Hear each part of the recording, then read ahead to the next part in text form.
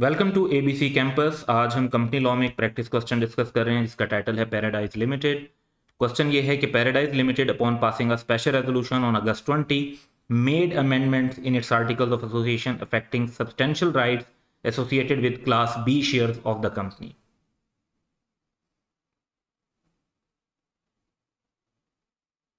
तो class B के rights affect हो रहे हैं। फ्यू एग्रीड शेयर होल्डर्स जिन्हें यानी उससे फ़र्क पड़ रहा था, जिन्हें शिकायत थी इस पर रेजोल्यूशन पे having objection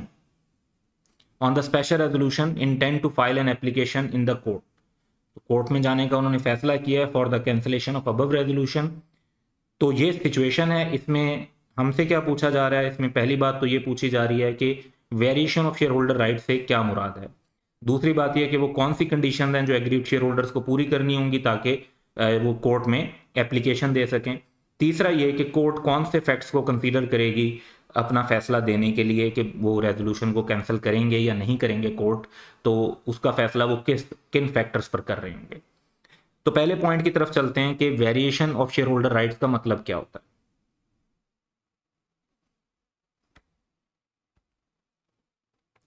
तो variation of share holder rights में एब्रोगेशन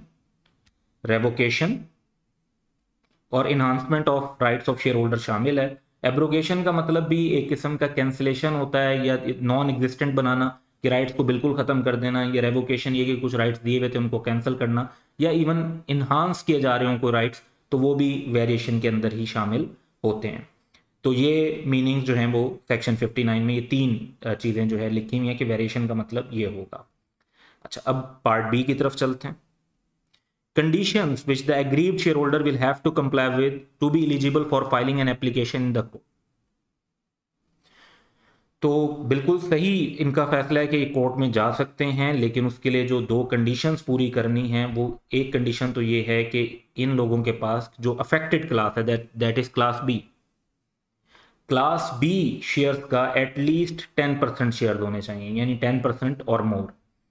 और दूसरा ये कि जो स्पेशल रेजोल्यूशन पास हुई है, उसके पास होने के थर्टी डेज़ के अंदर इन्हें कोर्ट में एप्लीकेशन फ़ाइल करनी होगी। तो ये दो कंडीशंस पूरी कर दें तो ये कोर्ट में एलिजिबल हैं कि ये एप्लीकेशन फ़ाइल कर सकते हैं।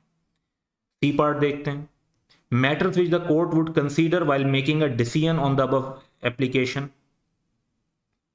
तो कोर्ट जो है वो कैंसिलेशन का ऑर्डर सिर्फ़ तब देगी when the court is satisfied about one of the two thing उसमें से पहली चीज़ तो ये है कि या तो कुछ फैक्ट्स ऐसे थे जो शेयर होल्डर से विदहेल्ड किए गए, छुपाए गए, और अगर वो शेयर होल्डर्स को बताए जाते तो फिर स्पेशल रेजोल्यूशन पास ना होती। तो एक तो ये फैक्टर है।